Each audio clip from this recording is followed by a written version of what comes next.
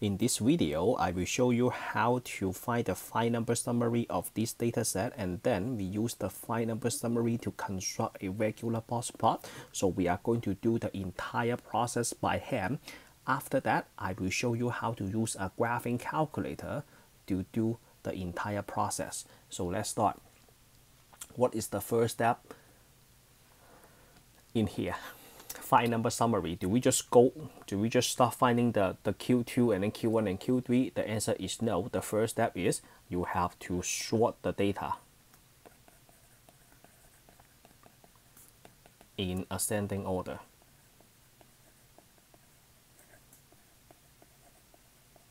all right let's start so the minimum is 5 right then 9 and then 17 and then we have uh, 20 25 uh, 28 29 and then uh, 32 33 and then uh, 37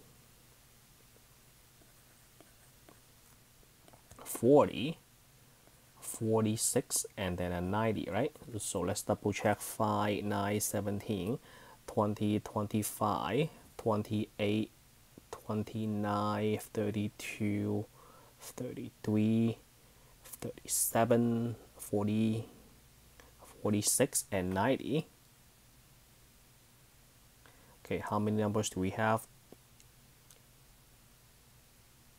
13 so 13 that means um, the median is the seventh value right? So first we find the minimum and then the maximum the seventh value 1 2 3 4 5 6 7 so my median is uh, 29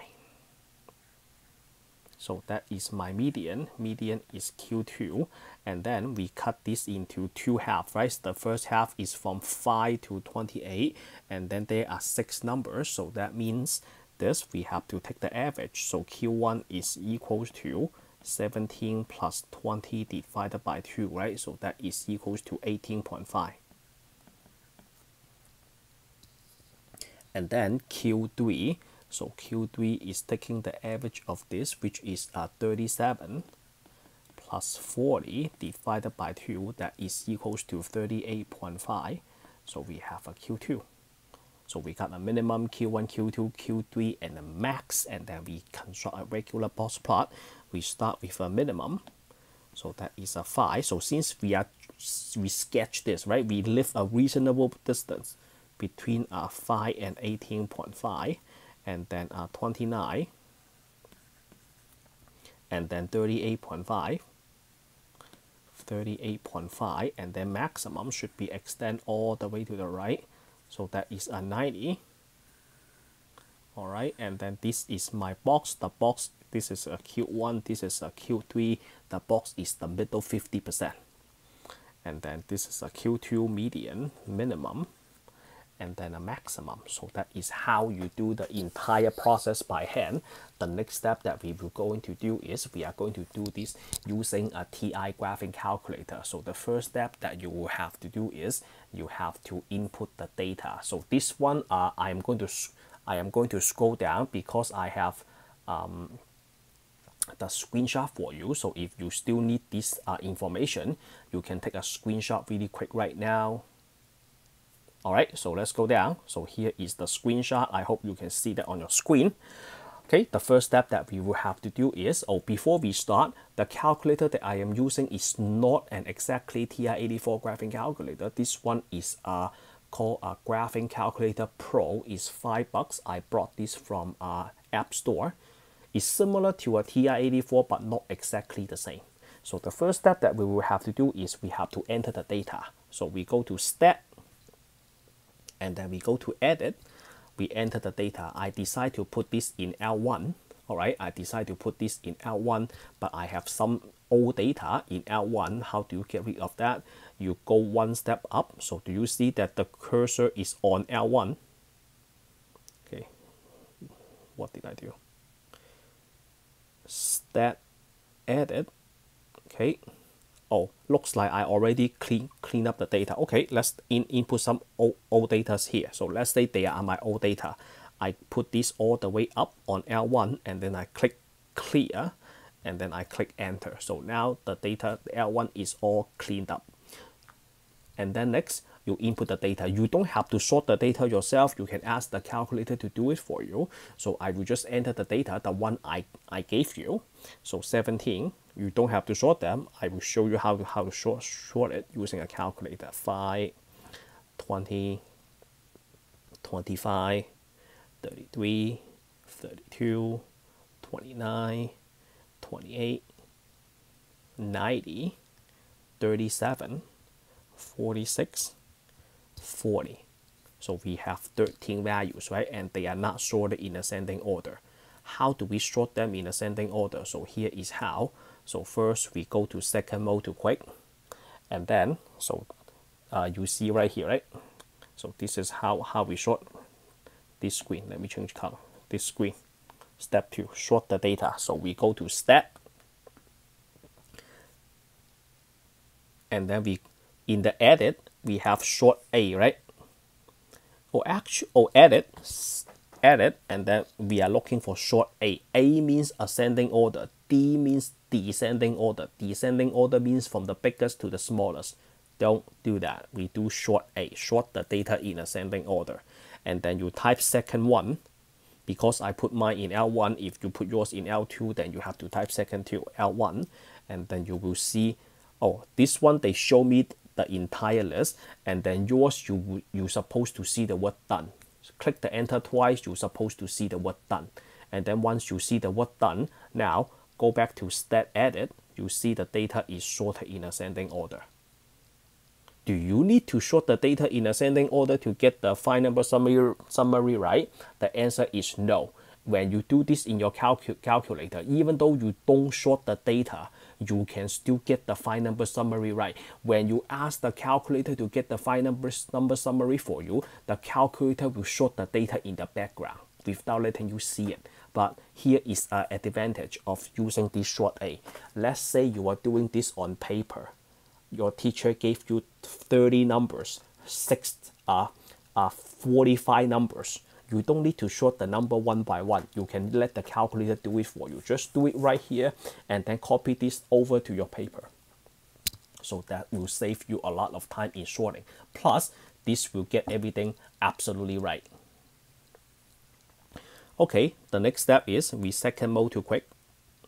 Now we go to um, stat and then we go to calc and then we select one variable stats. I am right here right? We select one variable stats. I put my data in L1, so I type second one. I put my data in L1, and then if you put your data in L2, you should uh, type the correct list. And then uh, if you see the one variable stats on the home screen, and then you see um, uh, cursor flashing, that's fine. That means you are using the older version of TI. So that's fine. Just hit second one L1 and then you hit enter. In mine, I have to uh, hit a calculate. If you see the frequency list, the one right here, don't worry about that. Totally ignore this. You don't need to input anything. So calculate. So now I see my average mean, right, and standard deviation, but I don't need that. So just hit the down arrow. You will see um, the sample size, the Q, the minimum Q1, median Q3, and maximum. Uh, the screen is uh, right here. So right here, you see this. So they are your five number summary. So now you can double check your work, right? They are your five number summary. But how do you get the box plot?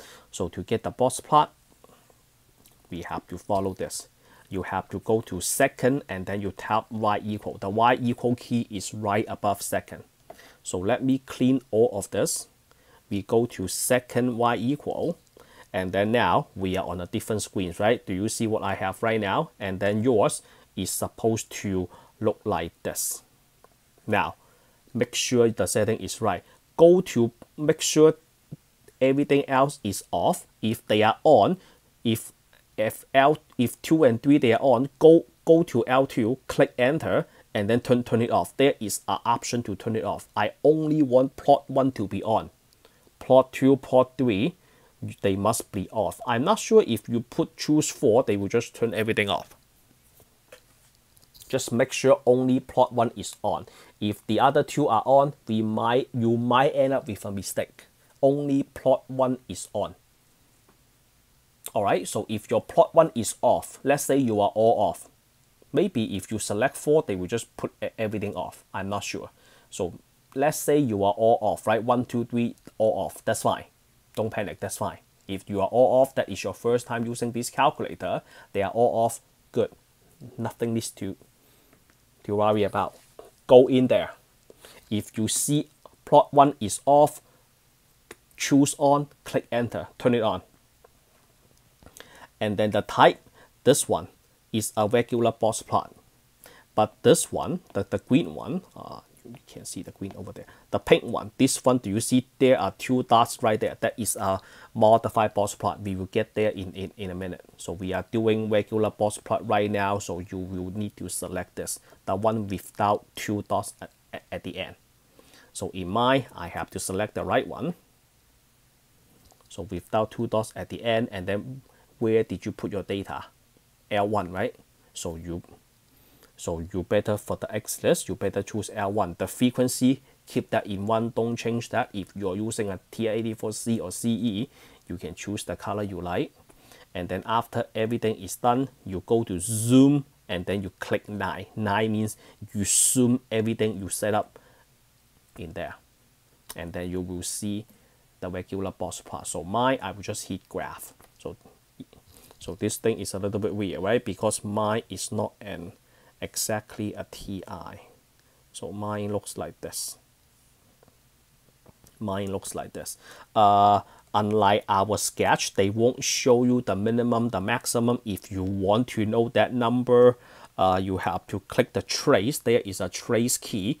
It's right above the up arrow. You click the trace key and then you can go up and down, up and down. You should be able to move the cursor to the point you want and they will tell you the approx they will tell you what that equals to. It is only a approximation. It is hard to get the exact value but uh, you know how the five number summary works in a box plot? You are you supposed to know what those numbers are. All right the calculator can only bring you that far. The rest fill, fill out the blanks. You have to do that part yourself. Okay? So here is that's how you construct a regular box plot using a TI graphing calculator. If you think my instruction is helpful, please click the like, subscribe to my channel, share this out for me. I'm sure many people are looking for this kind of instruction. I see you all in the next video.